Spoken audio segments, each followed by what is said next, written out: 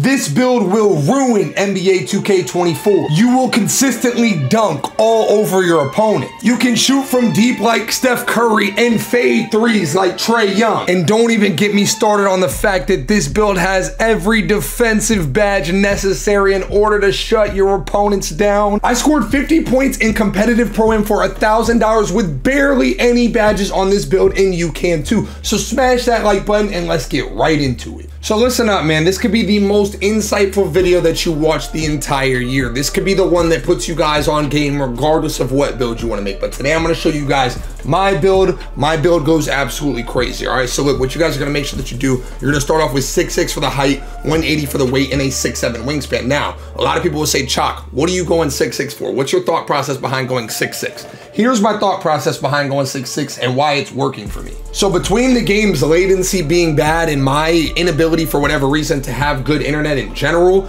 I haven't really been able to shoot on these shorter players. But at six foot six, you unlock JT Thor. And JT Thor has been absolutely game changing for me. I'm gonna show you guys all my SIGs and my complete jump shot and everything in this video as well. But I just wanted to go ahead and let you guys know every single thought process behind this build. This build was made and designed to a T to be the best possible build for an extended period of time. This build is not gonna get patched. This build is not gonna get broken. This build is as good as it is and it's only going to get better. So look, I went 6-6 because I got JT Thor. JT Thor has been the answer for me. For my people out there that don't have good internet, that are struggling shooting, JT Thor is the wave. So let's go ahead and move into the finishing, all right? I have a 52 close shot, 72 driving layup, 45 driving dunk, and an 85 standing dunk. Now, Here's the thought process behind everything, okay? 45 driving dunk is the threshold to get the nice off one dunk packages. Now, it's nothing crazy, okay? It's nothing crazy, but it's absolutely serviceable. And because you're going with a low driving dunk,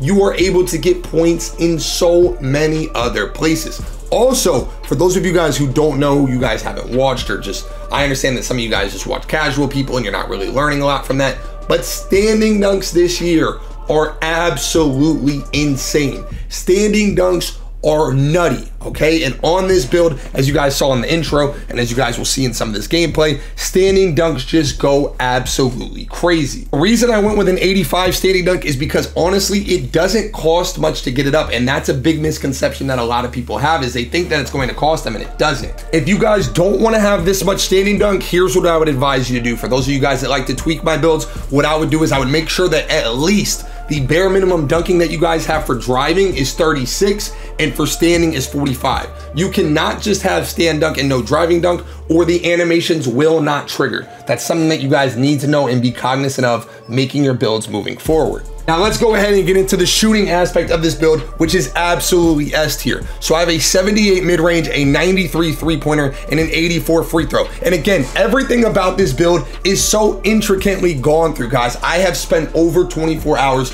in the My Player Builder. I'm not exaggerating when I say that, guys. I have been living in the builder. Even on my streams, if you guys tune into my streams, half the time I'm just looking at the builder, seeing if I can find something better. Now, a lot of people will ask me, Choc, why did you go 93-3 over 92? Because 92 is the threshold for Silver Limitless. But when you go 93, you get Hall of Fame open looks. And guys, if you guys don't know anything about this game, Hall of Fame open looks is absolutely worth getting it. It only costs one more point for you guys to get. So trust me, when you're making these silver limitless builds, go with a 93 three-pointer over a 92. You guys will thank me in the long run. And then the 84 free throw, guys, if you don't play Pro-Am, you don't need it, but that got me the silver free points. And obviously, guys, if you're playing Pro-Am or Rec Center, it's always good to be consistent at the line because as the badge says itself, those are literally free points. Now let's get into the playmaking aspect of the build. And honestly, guys, this is the reason that I did not want to post this build because I know that the casual player will look at this build and say, Choc, this build sucks. You don't have XYZ. And I'm going to go ahead and break down for you guys why everything is where it is. And I'm just asking that you sit back, listen, and trust me. Now, the biggest concern that people have with this build is the 63 pass accuracy. And people will say, Choc, what in the world are you thinking playing ball handler with a 63 pass accuracy? Trust me. Hear me out real quick. I'm gonna show you guys a graphic from 2K Labs. 2K Labs does all the badge testing, everything tested. 63 to 95 pass accuracy is only a 0.4 second difference in your pass speed. 0.4.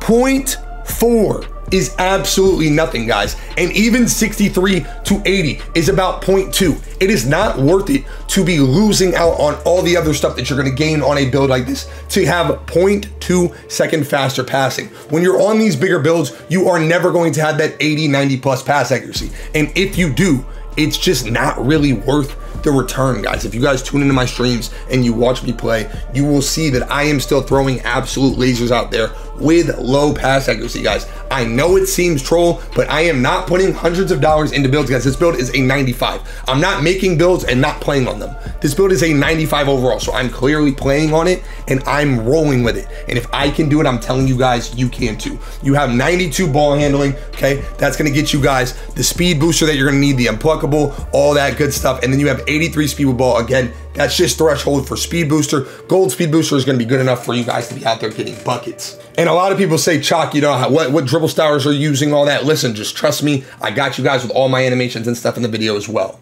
Now let's get into where I really went absolutely stupid, and that's on the defense. And I'm gonna break down my thought process behind it for you guys as well. 34 on the interior, 94 perimeter, 91 steal, 49 defensive rebound. Now, basically everybody for you guys that do not know Steals are broken in this game. And you guys have a 91 steal, which is going to get you guys gold glove, gold interceptor, and gold right stick ripper, guys. You are going to be able to pluck your opponents at will with these badges. Now, a lot of people will also look at this and say, yo, why did you go higher on the perimeter than the steal? Because you could have dropped your perimeter and got a higher steal. This is my thought process behind it.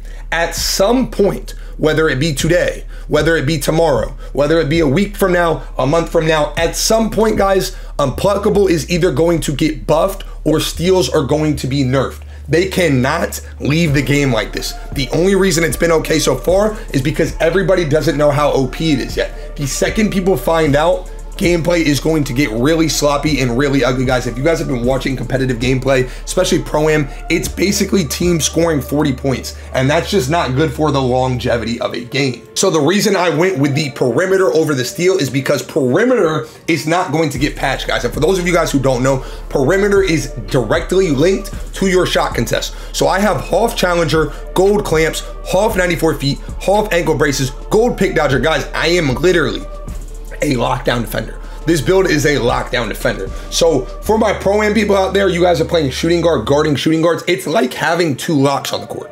And then for my park people, I can guard ball absolutely on this, but I have the same defensive stats as most locks. Yet I can do everything. I can dribble. I can score. I can dunk. I can literally do everything, and I am still on a lock, guys. This build is absolutely cracked out. I mean, it is I can't stress to you guys enough. I have only played on this build with bronze badges, guys. I don't have my badges maxed yet. And I'm telling you right now, I am a problem in every single game mode. I've played 20 part games with this build so far and I'm 20 and 0 and I've been absolutely dominating in Pro-Am as well. And again, guys, all of this has been done with the worst internet I've had since I started doing 2K. For whatever reason, my internet company is doing so poorly right now. I think I'm gonna switch because it's been so bad and I'm still out here competing at the highest level with this build and dominating at the highest level with this build. And let me go ahead and show you guys the physical aspect as well, guys. 78 on the speed, 87 on the acceleration, 55 on the strength. The reason we go with a 55 strength is so we can get the gold clamps because like I said, bro, this build can do a little bit of everything. You're an absolute lockdown defender. 48 on the vertical because we don't need it. And then a 99 on the stamina. And the reason we went with the 99 stamina is because the 99 stamina is going to get you guys the Hall of Fame workhorse and it's going to get you Hall of Fame 94 feet. It's worth having it. It doesn't cost you much extra. If you guys don't think that those two badges are necessary, then go ahead and go 96 at least to make sure that you guys get the gold handles for days. But listen, I'm not exaggerating when I say that so much time, energy, and effort has been put trying to find a build like this, guys. I usually break the builder every single year, and I'm telling you, I have done it yet again I'm telling you right now, you're going to see that over time, people are going to start rocking with the lower pass accuracy builds. I'm telling you, I know it seems troll. I know it's like, oh man, 63. I'm telling you guys, I am telling you right now, you are able to make your build so much better when you're saving points on your driving dunk, when you're saving points on your pass accuracy, guys. I am literally a pure lock that can play hash and dribble. I can literally play point guard. I am a point guard, six six, pure lock. I'm a pure slashing, shooting defender, dunker. Like, bro, I am telling you right now, I have yet to see another build as well rounded as this build. It's absolutely nuts what this build can do. And and I'm telling you, if you make this build for yourself, I can legitimately guarantee you that you will be happy with the money that you put in. And I don't say that all the time. When you look at the build guide, absolutely every build in there is going to make you guys happy. But the thing is, in this game right now, there's not a lot of builds that can use in every single game mode. Most builds are going to be made specifically for certain game modes. You cannot rock a six foot two on the twos. You cannot rock a five seven on the twos. But on this right here, you can play pro am, you can play park, you can play rec. This build is made for every single game mode. You can do it all on this kind of build, guys. And, and it's the first of its type in this year. And I'm telling you, you guys can go watch these other content creators and watch the stupid six foot eight builds that they put out or the dumb seven foot one Victor Wembanyama builds that they put out and throw your VC on it thinking that they're good builds. And the second you run into anyone competitive like me on a build like this, you are going to be miserable. All I'm asking you guys to do is trust me a little bit. All I'm asking you guys to do is do your own homework. Listen, you you guys want to go watch these other YouTubers and watch them because they're entertaining, because you think they're funny, because you think their videos are edited well, be my guest. But when you are trying to make builds that are going to be good at this game, Stop listening to these clowns. These dudes do not care about you, dog. They are trying to get videos out. They are making builds that they know suck at the game because they know you'll like them. Even though they know they suck, and they know that the build is not really good, they're going to label them as demigod builds and they make them to cater to the casual's eye. Not to put the casual on what is actually good, but to cater to the casual's eye and get a cooler title out. Like, oh, I made a seven foot one Victor Wembanyama demigod build. No, you made a seven foot one piece of trash that is never going to be useful in any game mode. And listen, bro, I swear on everything I love, I'm only telling you guys all of this because I want you guys to be successful. My main goal when I started this channel was I wanted to teach people how to be better at the game. There were so many games out there that I would play and I was never good at them. And I just wanted to know how to be good. So one time, the only game that I was ever really like that at, I'm just trying to do what I was hoping someone would do for me. Everything that I'm dropping is dropped to help you guys get better at the game. Whether it be jump shots, whether it be the build guide, whether it be the settings video, everything that has been dropped so far, everything on this channel will help you get better at NBA 2K. And guess what, guys? If that's not enough, and if you don't believe me off that, I respond to every single comment. I am the only YouTuber of this size responding to every single comment because I genuinely care about you guys and I genuinely want to see people that watch me be better at the game. I genuinely want it to be something when somebody asks you how you guys got so good at 2K, you tell them, yo, I listened to Choc. Yo, I got Choc's build. Yo, Choc put me on. That's how I want it to be. I want people that watch me to reap the benefits of getting better at the game. That is literally the sole purpose of this channel. Now, let me show you guys the animations that I've been using on this build. So let me go ahead and get into my animations for you guys. And you guys can copy these for yourself and use them as you see fit. Now, I don't play with a pass style. I never have. I never will. I don't care if I have 99 pass accuracy. I don't use pass styles. Dribble style, I've gone between Zach LaVine and Magic Johnson. That's the only things that I would say are up for changing on this. Everything else, I would run exactly the way that I'm running it, guys. This build goes absolutely crazy. You have good dribble moves, you're fast. You can do a little bit of everything, guys. And I'm telling you, if you put these SIGs on, you guys will be absolutely dominating.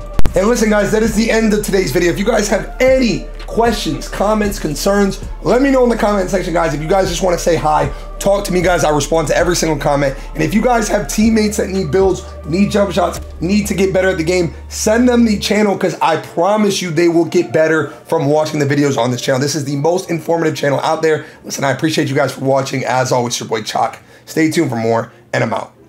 Peace.